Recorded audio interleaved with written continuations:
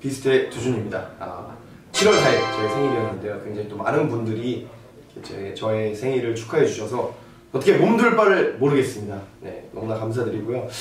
참, 어, 또 우리 손동훈 군 생일도 저기 저번 달이었고, 네, 또 굉장히 또 좋은 시간이었는데, 또 제 생일을 맞이하게 돼서, 어, 좀 활동 중에 맞이했으면 어땠을까라는 생각을 했지만, 작년에 또 제 생일날 활동 중에 어, 그 맞이하여서 굉장히 기분 좋았지만 뭐 아쉽게도 이번엔 그러지 못하지만 제가 뭐 뭐라 그러는 건지는 잘 모르겠지만 아무튼 굉장히 많은 축하 주셔서 너무나 감사드리고요. 네 부모님께 또 저를 낳게 해주셔서 감사하다는 말씀 또 전해드리면서 저는 인사드리도록 하겠습니다. 여러분들 뭐 저뿐만 아니라 오늘 생일을 맞으신 분들 진심으로 축하드리고요. 항상 건강하고 행복하시고 감기 조심하시고 메르스 조심하시고 항상 마스크 차고 다니시고 손발 깨끗이 씻고 다니시길 바라겠습니다. 감사합니다.